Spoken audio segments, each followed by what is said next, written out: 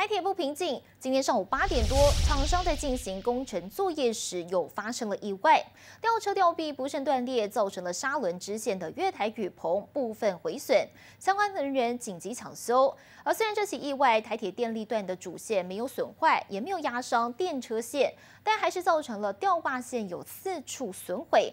目前电力维修车也持续的抢修当中。